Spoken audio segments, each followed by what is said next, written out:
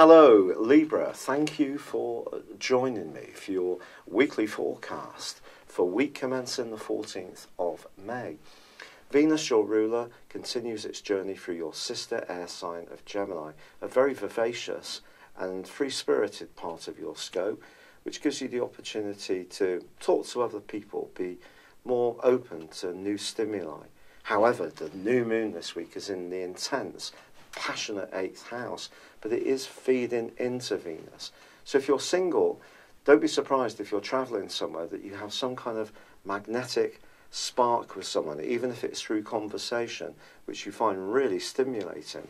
And it may, if you're truly lucky, even get your pulse racing too. If you're in a committed relationship and it's going well, the next four weeks could be a time when you do decide to have a vacation to spend some quality time together.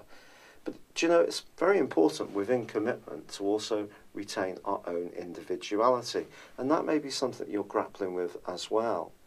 But there is two other major changes this week.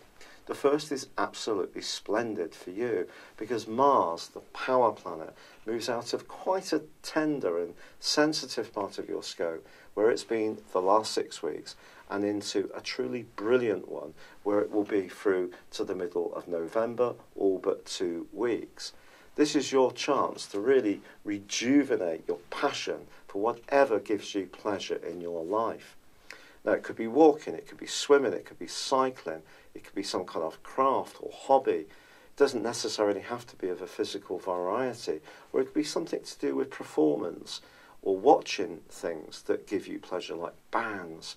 Anything that in, gives you a spark of pleasure is definitely going to become much more important to you over these next few months after what has been an intensely sensitive and emotional time for Libras and us people who have an ascended Libra.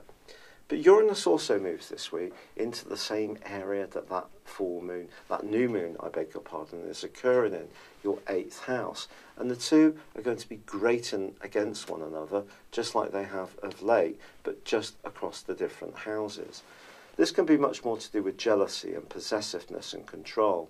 And if there is a relationship which stops you being the true person you wish to be, then it is going to come under the astral microscope. But just as easily, you could find yourself hugely attracted to someone over the next few weeks. And whether it would be a long lasting relationship or not, it could still be an exciting experience for you. But for now, it's been a real pleasure being with you.